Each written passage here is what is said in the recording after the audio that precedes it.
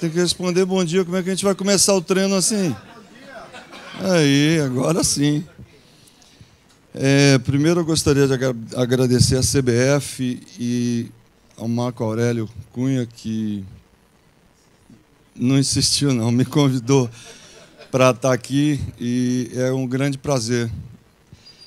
E, e lógico que nós estamos num momento muito importante da nossa preparação, que faltam 100 dias para o início dos Jogos Olímpicos, que é uma grande expectativa de todo o povo brasileiro, do esporte brasileiro como um todo. Mas, antes de mais nada, eu vou fazer um breve histórico para vocês só entenderem como é que as coisas aconteceram. Eu acho que, independente da modalidade, nós trabalhamos com pessoas e elas são extremamente importantes para que tudo aconteça. Porque a gente visa performance, resultado. E para a gente ter resultado, a gente precisa entender um pouco da nossa cultura, da nossa educação, é, de como a gente vai trabalhar, do nosso planejamento e dos nossos concorrentes, dos nossos adversários. É, eu nasci numa cidadezinha a 500 quilômetros da capital de São Paulo, e quando eu nasci, a primeira coisa que eu ganhei do meu pai foi a camisa do time que ele torcia e o calção e a meinha, é, porque eu venho de uma família, talvez vocês não saibam, mas, não saibam, mas de jogadores de futebol. Meu irmão foi profissional, meu pai chegou a ser profissional e um dia, trabalhando no Corinthians, eu trabalhei no futebol profissional dois anos, através da Ricks Music, os mais velhos aqui chegaram a conhecer. Um dia eu chego para trabalhar encontro um técnico de futebol, o seu Pupo Jimenez. Os mais velhos conhecem. E o seu Pupo vira para mim e diz assim: Zé, o que, que você tem a ver com Lauro Guimarães? Quando ele falou esse nome, eu tomei um susto. Eu falei: Seu Pupo, esse é o nome do meu pai. Ele falou: Seu pai foi um craque de futebol. Eu não vi meu pai jogar, vi meu irmão. E, isso me deixou muito orgulhoso, porque é o esporte que eu amava. Quando é, eu estava dando os meus primeiros passos, eu já chutava a bola. Meu pai resolveu mudar para São Paulo quando eu tinha seis anos de idade e eu fiquei ainda mais próximos dos campos de Vaza, porque eu fui morar na Zona Leste. Até os 12 anos eu acompanhava o meu irmão em campos de várzea de futebol e já vislumbrava ser jogador de futebol. Eis que um dia meu pai resolve mudar de novo de cidade, eu vou morar em Santo André. E fiquei longe de tudo aquilo que eu mais gostava, que eram os campos de várzea. Vou estudar no colégio de periferia, onde eu tinha um professor de educação física que gostava de uma modalidade, vôlei. Ele dava o jogo com a mão e eu queria jogar com o pé, e eu odiava jogar com a mão.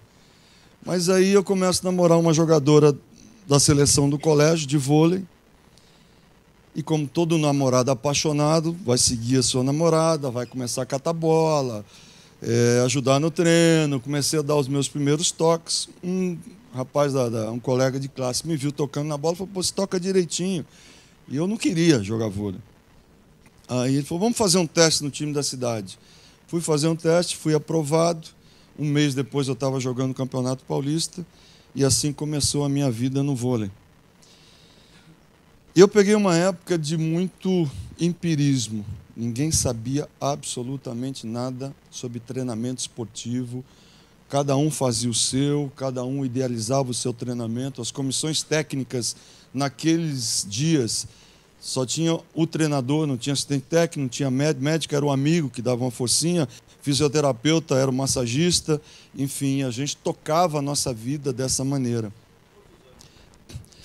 Isso eu tô falando, eu comecei a jogar em 1967. Muita gente aqui não era nascido, eu tô é, são 48 anos dentro do vôlei, né? Eu sempre eu disse domingo que a minha vida inteira foi dentro de uma quadra que eu conheço pouco da vida, mas eu conheço muito quadra, treinei muita gente, muito, fui treinado por muita gente. E logo depois eu joguei durante 34 anos, é, 21 anos. Com 34 eu encerrei minha carreira e virei treinador.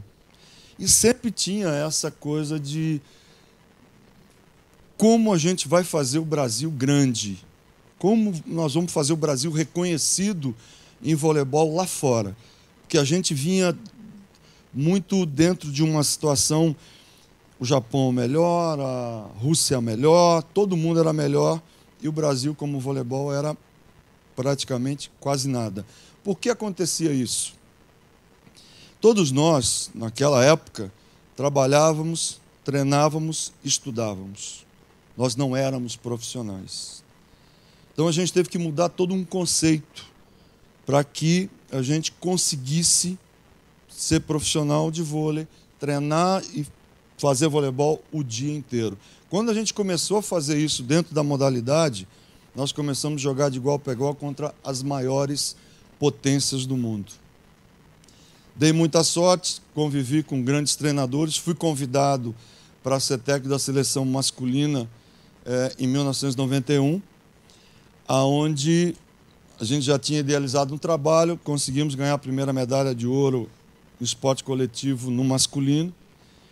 E uma coisa que eu aprendi naquela eventualidade, quando antes de assumir a seleção, eu fui assistente técnico dos maiores técnicos de vôlei, que foi inclusive presidente do Botafogo, que foi o Bebeto, que é sobrinho do João Saldanha, enfim.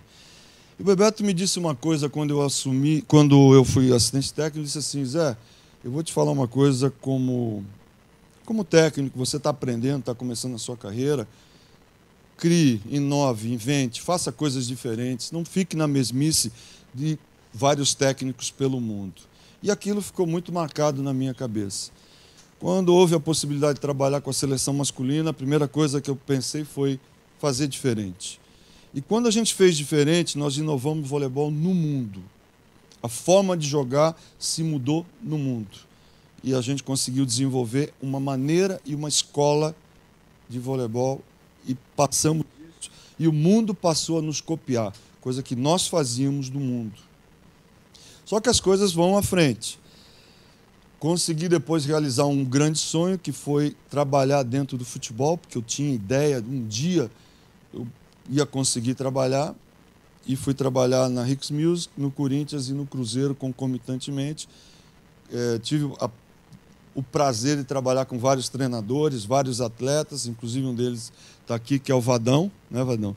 A gente trabalhou junto lá, sofremos juntos, porque um time como o Corinthians não é fácil, né? São, eu lembro que veículos eram mais de 30 que a gente tinha que falar diariamente sobre os jogadores, sobre o trabalho. E lógico o técnico falava, mas contratações passava pelo diretor de futebol. Eu não era do clube, eu era da empresa, mas tinha que declarar alguma coisa. Por que, que eu saí do futebol? Simples. A empresa americana ela tinha um projeto de cinco anos para ser desenvolvido em categoria de base, que é o que eu amo de paixão fazer, e também no profissional. Compramos alguns jogadores, colocamos dentro da parceria, que eram Luizão, o Vampeta, Edilson, né, Fábio Luciano. Então, vocês veem que eu, eu conheço um pouco de futebol, porque amo futebol, gosto de futebol. E Dois anos depois, nós tínhamos ganho, inclusive, o Campeonato Paulista. É, apesar de não ser corintiano, né? Macoré é bom deixar claro isso, né? Macoré, senão ele fica bravo. E eu vou ser sem educação, né? Já que São Paulino me convidou, eu sou São Paulino. Mas eu fui como profissional e tentei fazer o meu melhor. E a gente conseguiu ganhar o Paulista, o brasileiro daquele ano, que foi uma grande experiência para mim. E eu saí porque meu chefe me chama um dia e diz assim: olha, é, a empresa, o fundo de investimento, quer que nós vendamos os jogadores que pertencem à parceria. Eu disse para ele: você quer que eu vá declarar para as televisões que nós vamos vender os jogadores da parceria? Você vai me desculpar, mas estou indo, porque senão a semana seguinte eu vou encontrar morto em algum lugar aí.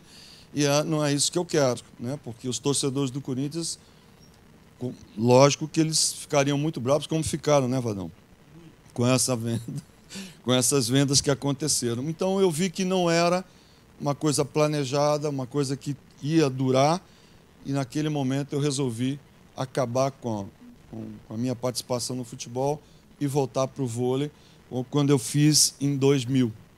2003 me convidam de novo para fazer parte da seleção brasileira e aí feminina, que estava com alguns problemas e tudo mais. Eu fui é, contratado, convidado para apagar um pouco do incêndio, né? E aí assumi todo esperançoso, né, contente. E aí vocês acompanharam a Olimpíada de 2004. Nós tivemos cinco match points para botar uma bola no chão.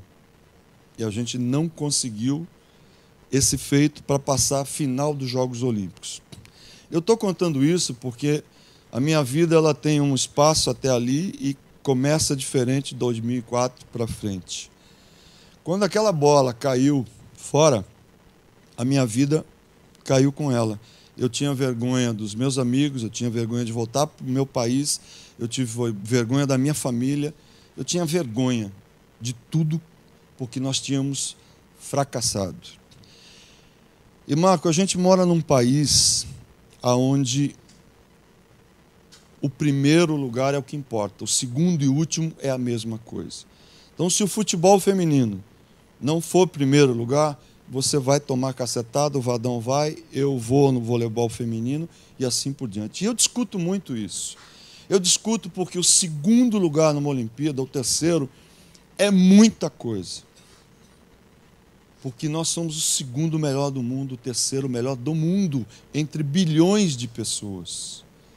Ali tem um planejamento, um trabalho, uma dedicação que conta e que é muito importante dentro desse processo todo, dentro desse trabalho todo.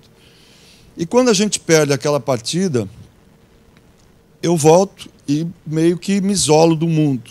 A minha sorte foi a minha família que me ajudou, que disse assim: olha, você tem duas filhas para criar, vamos embora, vamos, você tem que voltar ao trabalho. E eu tinha contrato por mais quatro anos. Eu estou contando isso porque daí começa uma mudança. E essa mudança foi muito bem. Nós perdemos da Rússia, mas por que que por que, que a gente perdeu? Não porque a Rússia ganhou. E aí eu comecei, juntamente com os outros treinadores da seleção, porque nós somos em três, a buscar os motivos dessa derrota e aí começamos a chegar a determinadas conclusões. A primeira conclusão foi: nós temos que sair do país e vamos trabalhar fora. Aprender uma outra língua, treinar as nossas adversárias e fazer um dossiê completo de todas as jogadoras do mundo que poderiam participar nos Jogos Olímpicos de Pequim. E assim foi feito. Aí muita gente diz assim, pô, mas vocês foram treinar, as suas adversárias, nós fomos treinar. Elas aprendiam com a gente, mas nós também aprendíamos muito mais com elas. Segunda coisa era quebra de paradigmas de treinar mulher brasileira. Existe uma diferença muito grande. E eu tive a possibilidade de treinar russas, turcas, americanas, é, alemãs, italianas, né, porque eu fui treinar um time na Itália. E aí chegamos a determinadas conclusões. Eu pego exemplos para vocês imaginarem de tudo que eu vejo na vida, pode ser fora da minha modalidade. Eu, eu, eu, eu funciono mais ou menos como uma, uma esponja. Uma, uma esponja. É, nós começamos a ver que tinha algumas diferenças que nós precisávamos melhorar. Vamos falar, por exemplo, que eu estava conversando com o Vadão sobre a parte física. Né? Nós trabalhamos em quatro coisas que são primordiais: parte física, técnica, tática e a psicológica. Uma não funciona sem a outra. São, elas se completam. E aí a gente viu que tinha, tem um time no mundo que é, sempre foi mais forte do que a gente e que a gente sempre perdia no tie break. 2 a 2 no tie break, Cuba ganhava. E por que ganhava? Porque elas eram mais fortes.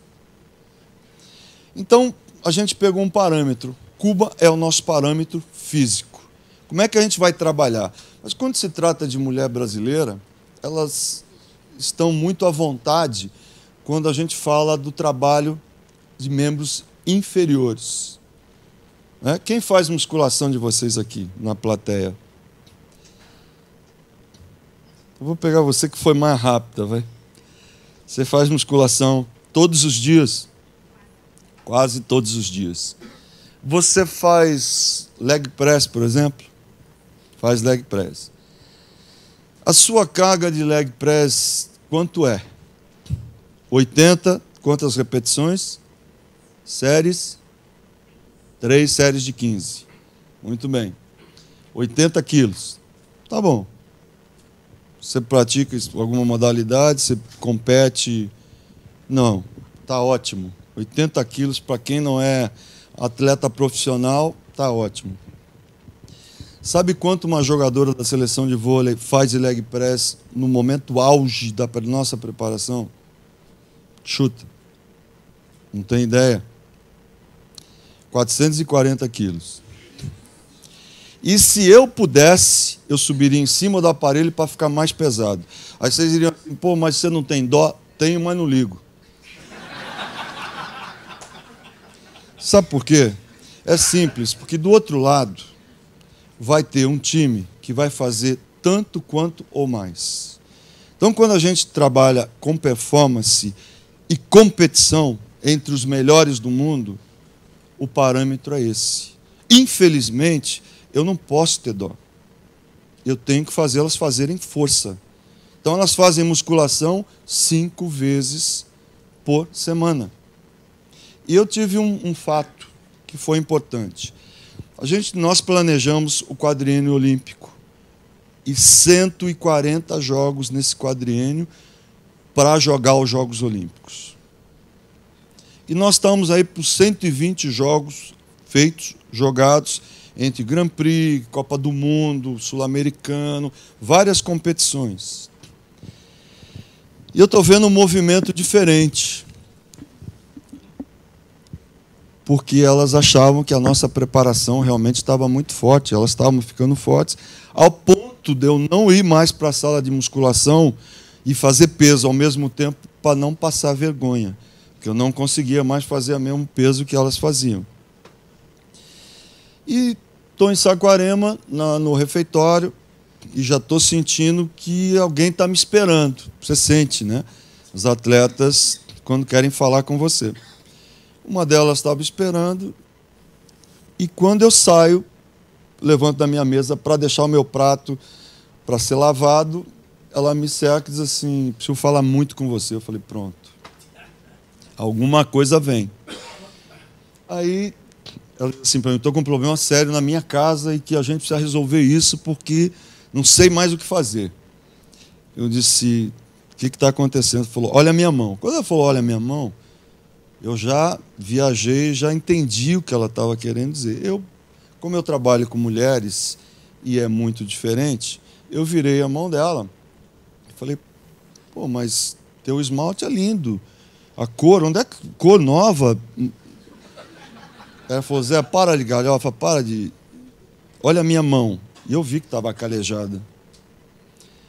Ele disse assim: Eu estou com um sério problema porque eu fui fazer um carinho no rosto do meu marido essa semana ele reclamou.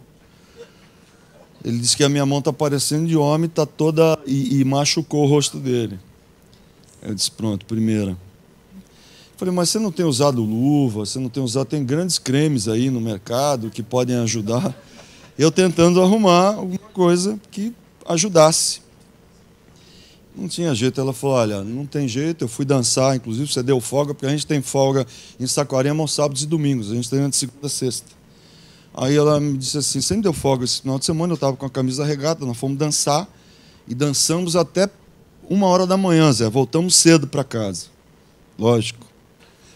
Aí estou dançando, olhei para o meu braço.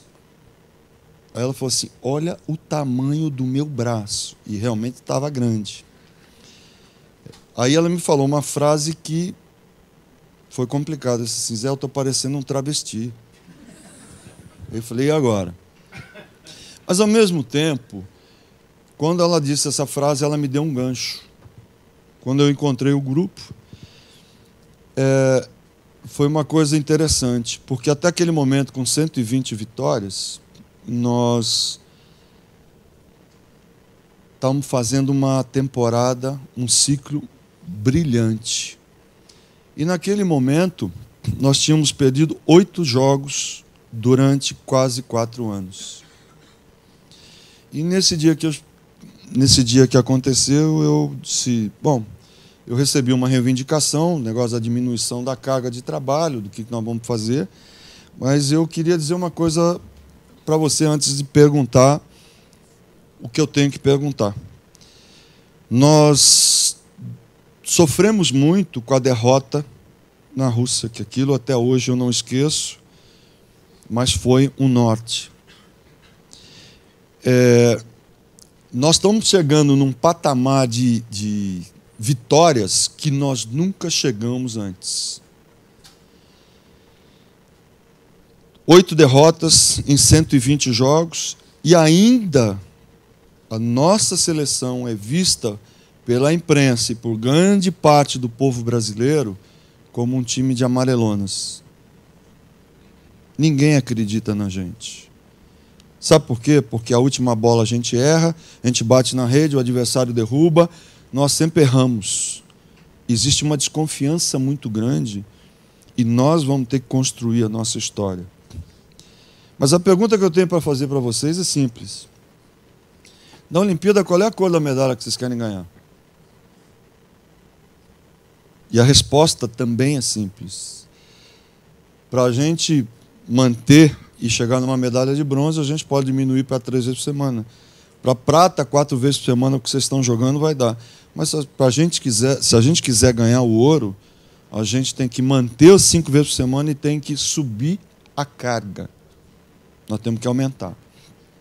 E todo mundo ficou, né? Porra, então, iam pedir para diminuir, o cara nem manter, vai, vai subir, vai aumentar, quer dizer, eu não, preparador físico. Né? Eu disse isso para vocês porque existe uma quebra de paradigmas quando você trabalha com mulheres. Os comportamentos são diferentes. A pergunta que eu mais recebo é: o que é mais fácil trabalhar com homens ou com mulheres? Com mulheres é mais difícil. É mais difícil porque o treinador feminino ele tem que ter mais sensibilidade. A minha mulher diz assim que eu deveria ter alma feminina. Eu não consegui ainda. Eu estou tentando. Mas eu confesso a vocês que eu comecei a ler muito sobre treinar mulheres. Eu li muitos livros, não sei a quantidade, e posso também garantir às mulheres aqui presentes que eu não entendo absolutamente nada de mulher. Não consegui entender. Elas dizem sempre que nós somos todos iguais porque elas mudam todos os dias. Mulheres são hormônios em ebulição. E todo dia tem uma coisa nova. Quando você trabalha com mulheres, algumas peculiaridades. O Vadão já deve ter passado por isso. Uma puxa a menstruação da outra. Né? Vocês sabiam disso, vocês mulheres sabem que uma puxa a menstruação da outra. Hoje, a nossa vida como treinador ficou muito mais fácil porque antes nós tínhamos que programar o ciclo menstrual das jogadoras para que não batesse naquele momento da TPM, da dificuldade da menstruação, exatamente no período de jogo. Então nós, como nós tínhamos o ciclo menstrual delas mapeado. Aí vocês poderiam dizer, pô, até isso vocês mapeavam? Não é que a gente mapeava para saber, tem uma coisa fundamental ali de metabolismo. Como é que está esse fluxo? Está normal? Está muito? Está pouco? Está em overtraining? Como é que está? Então, treinar mulheres não é só o aspecto do treinamento da quadra do campo, mas tem o metabolismo que tem que ser olhado de uma maneira muito sutil e que tem que ter um cuidado muito grande. Vou contar um outro caso para vocês que eu acho que é importante, Vadão, não sei se você passou por isso, mas pode passar. Não vou dar o um nome. Eu comecei a conversar muito com médicos e ginecologistas. Nós estamos falando de performance. E nós levamos um ginecologista para Saquarema para falar sobre vírus HPV. Para poder passar informação para elas, o que, que acontece, como, os cuidados que precisam ser tomados e tudo mais. Aí, terminada a palestra sobre o vírus HPV. Ela, o cara vira e diz assim para mim: Como é que elas estão de pílula? Eu falei, doutor, por favor, pergunta. Aí ele disse assim: Muito bem, como é que vocês estão administrando a pílula de vocês? Qual que vocês estão tomando? Aí, Yasmin, Yane, eu entendo tudo de pílula hoje. Aí, duas delas falaram o nome de uma pílula. O doutor virou para mim e disse assim: Você sabia disso? Eu falei, doutor, não sei de nada. Não estou sabendo de nada. Ele falou: Essa. É... Mas antes vou ter que contar um caso só para vocês entenderem. Um mês antes desse médico passar em Saquarema, eu tinha pego uma das jogadoras e tinha conversado com ela achando que ela estava menos agressiva, ela estava prostradona, mais mãezona, mais para baixo e menos, muito, muito menos agressiva. E a grande coisa dessa jogadora, a grande atuação dela sempre foi de uma maneira contundente com o adversário e até com as joga próprias jogadoras do time.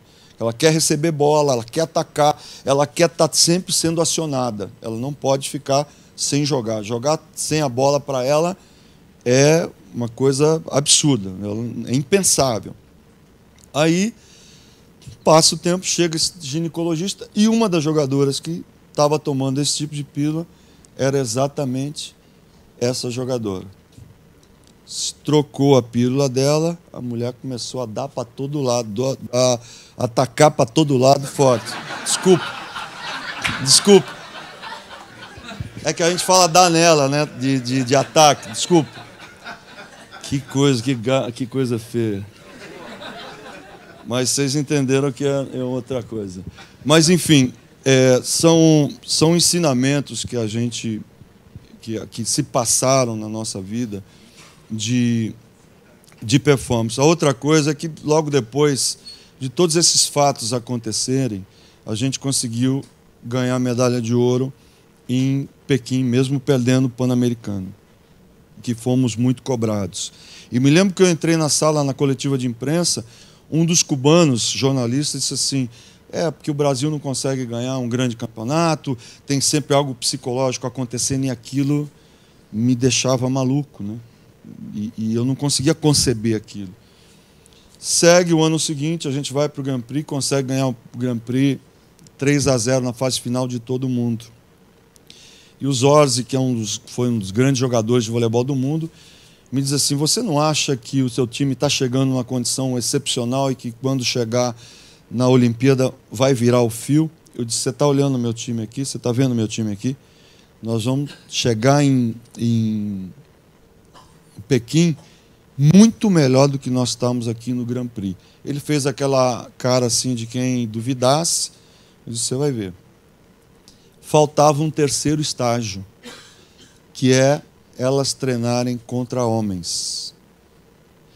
E aí, quando a gente levou os meninos para treinar em Saquarema, porque nós queríamos que elas tivessem um nível de força e, de atacar com o bloqueio deles, de passar pela velocidade deles e defender o ataque deles. Teve um dia que uma delas chegou para mim e falou assim: Zé, os moleques estão atacando muito forte, está machucando o nosso braço. E elas estavam com o braço vermelho, né? Aí eu fui lá nos moleques falar com eles. Falar, estão dizendo que tão, vocês estão atacando muito fraco aí, ó. Eu não podia mandar diminuir. Não podia, entendeu? A gente, bom, final das contas, a gente perdeu um único set nos Jogos Olímpicos de Pequim. Quatro anos depois, uma nova realidade. Problemas, como todo grupo existe, masculino ou feminino muita mídia, muita aparição em revistas, em televisões, performance menor, menos treinamento. E tem uma coisa que a gente paga um preço. Se você não se preparar adequadamente, não se focar adequadamente, você vai perder. Não tem outra fórmula. A dedicação tem que ser o máximo para se fazer um time, a gente demora muitos anos. E principalmente num time feminino. André, você que está aqui na frente e que faz parte do COB, Obrigado por você ter vindo. Você conhece um time aonde 12 jogadoras são amigas entre si? Alguém conhece? Tem 12 amigas? Mulheres? Uma pergunta séria. No homem é mais fácil isso.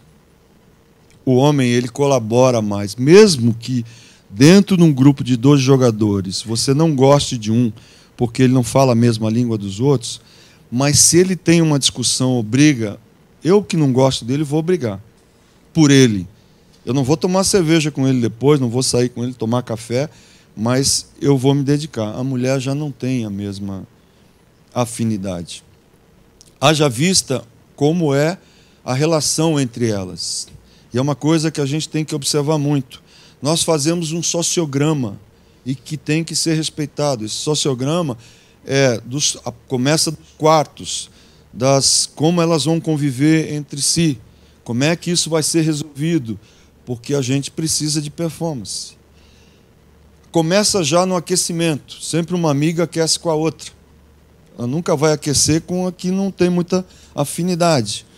Então, tem coisas na mulher que precisam ser respeitadas. Outra coisa, a título de curiosidade, vocês sabiam que a mulher tem dois centros de fala no cérebro e que a mulher tem necessidade de se expressar de 7 a 8 mil vocábulos por dia. O homem, um terço disso. Está explicado muita coisa. A mulher tem necessidade de falar. Ela tem necessidade de se comunicar. E se ela não fizer isso, é um problema. Então, desde o início do aquecimento, elas falam. Mas a mulher tem uma outra coisa importante. Papai do céu, André, deu a vocês a possibilidade de fazer quatro, cinco coisas ao mesmo tempo e prestar atenção em todas elas, coisa que para nós homens não deu essa capacidade.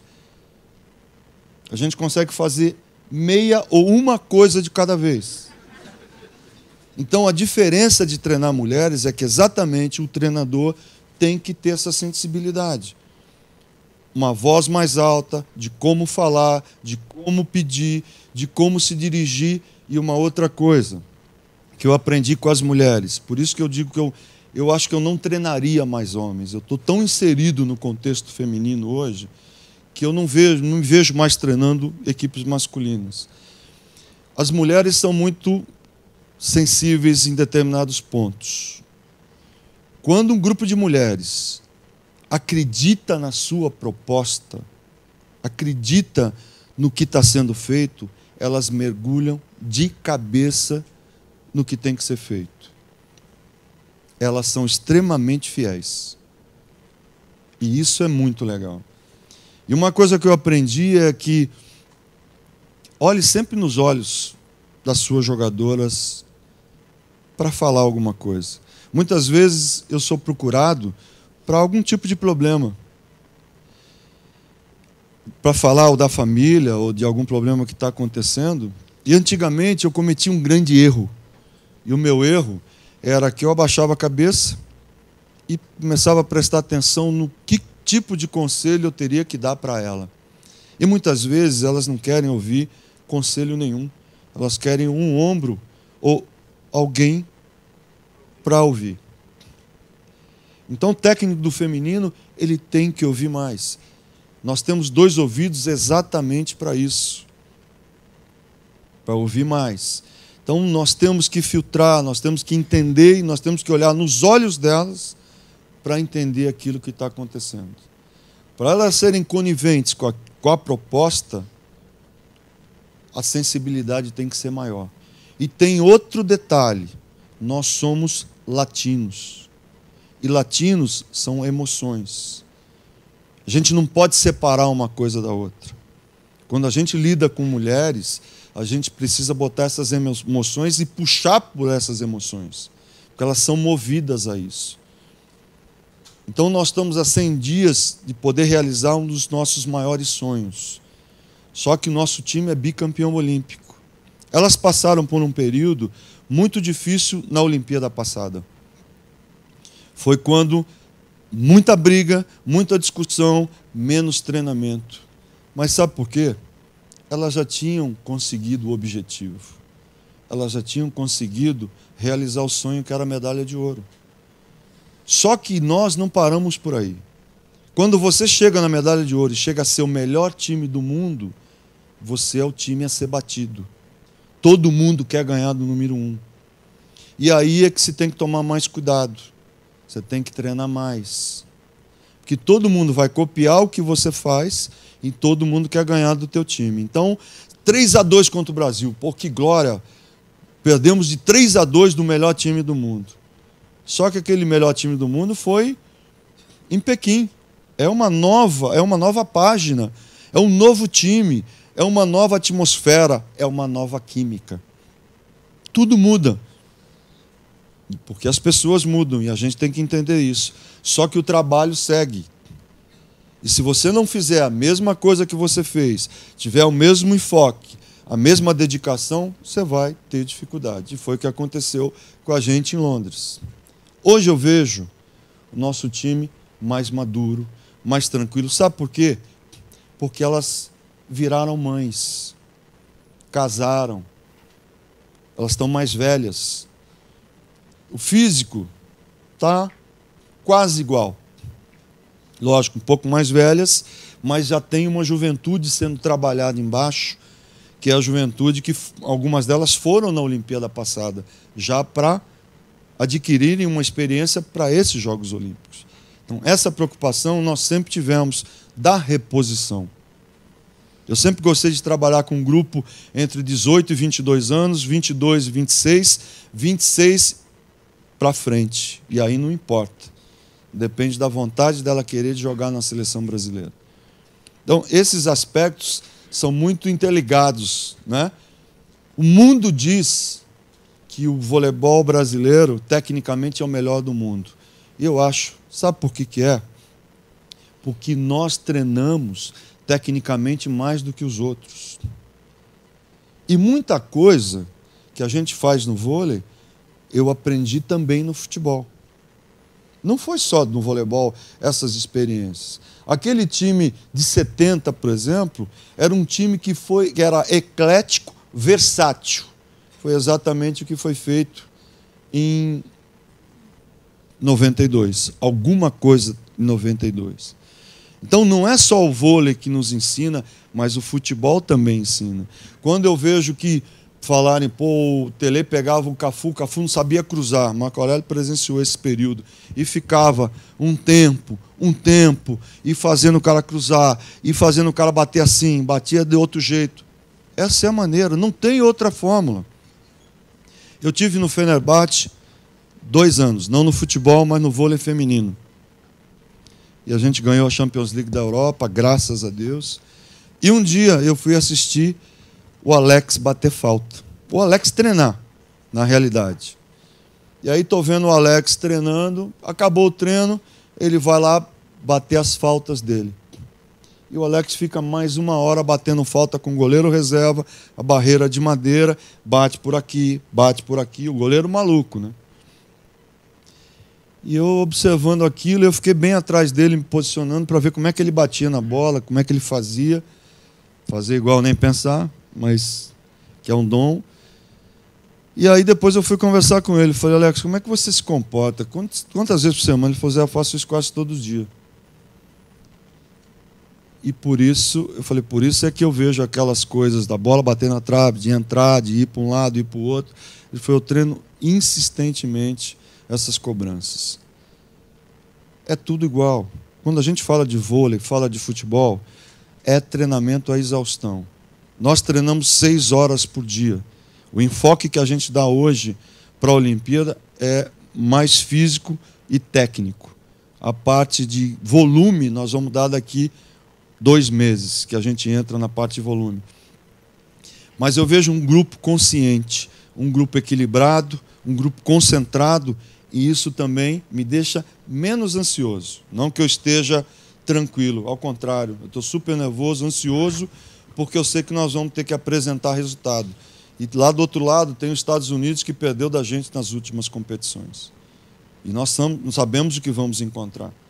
Essas mesmas potências que falaram no, no futebol, que o Marco Aurélio falou, da França, da China, né, que vão Austrália, é, Estados Unidos, eles têm uma facilidade maior do que a gente. A Alemanha, eles têm uma facilidade, principalmente os Estados Unidos, maior do que a gente. E vai ser o nosso maior adversário na Olimpíada de, do Rio de Janeiro. Porque lá eles têm o college, têm a universidade. E são 360 universidades que participam do campeonato de vôlei, sendo que 64 delas na categoria máxima. Olha o que sai de jogador aí. Enquanto que aqui a gente tem que ficar laçando, pegando. Né? Só pediria ao pessoal que trabalha com futebol, Padrão, deixa as de 1,85 para cima para mim, por favor. Não pega essas, não. Não, goleiro a gente pode arrumar. Isso aí não tem Pode pegar uma ou outra de 1,90, 1,92, mas deixa o resto para a gente. Mas é essa a nossa busca constante. Esse trabalho ele é muito difícil em sendo do Brasil. Né? Pelas, por essas dificuldades que a gente encontra, principalmente no naipe feminino, que a gente não tem tanta facilidade quanto o masculino tem, é assim também no vôlei. Então, a gente vai passar por processos difíceis, mas essa busca ela tem que ser, esse trabalho tem que continuar. Eu vi as apresentações e acho que esse é o grande desafio que a gente tem. Trabalhar para as mulheres, fazer com que as mulheres pratiquem esporte, mas tem que começar num lugar muito especial, que são as escolas. E a gente tem que reivindicar no Brasil que essa legislação ajude a gente, seja para qualquer modalidade. Né? É importante essa educação física nas escolas. Todas as pessoas, todos os atletas, ex-atletas que saíram, né, saíram das escolas, que depois foram para os clubes selecionados, que os clubes, como o Marco Aurélio disse, não tinham esse dever de fomentar como fomentam, mas se não fossem os clubes, nós estávamos falidos. Não tenho a menor dúvida disso. Mas a gente tem que levantar a mão para o céu né, e continuar a nossa luta. Nossa luta não vai parar nunca. Mas essas dificuldades que a gente atravessa também nos tornam mais fortes. A gente não pode desistir. Vamos deixar o futebol masculino é outra história, é outra re, é, realidade mas nós temos que trabalhar a nossa realidade e já ver de que forma a gente pode mudar isso.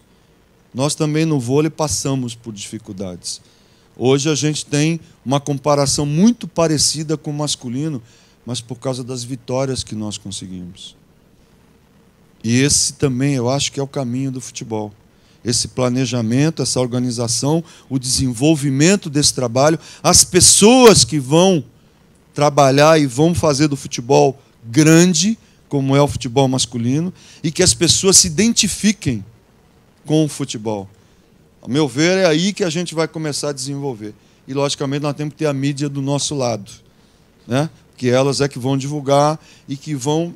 E a gente vai deixar o legado para essa futura geração. Então, eu estou encerrando. Eu só desejo, Vadão, que você tenha, que você faça uma grande Olimpíada com o teu time que você consiga realizar um grande sonho de todos os brasileiros, que é uma medalha de ouro na modalidade, aí seria uma grande ajuda, mas uma coisa eu tenho certeza: quando o brasileiro que está torcendo vê que o time está treinado, que está correndo, que está tentando, que todo mundo está se ajudando, não tem crítica.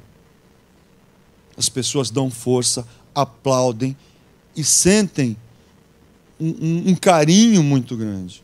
E vão dizer assim: pô, não ganhou, pena, mas correram, se dedicaram. Esse reconhecimento é que eu acho mais importante do que tudo.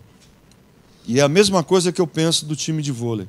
Vai ser muito difícil a gente ganhar outra medalha de ouro, principalmente em casa. Não é impossível. Não é impossível.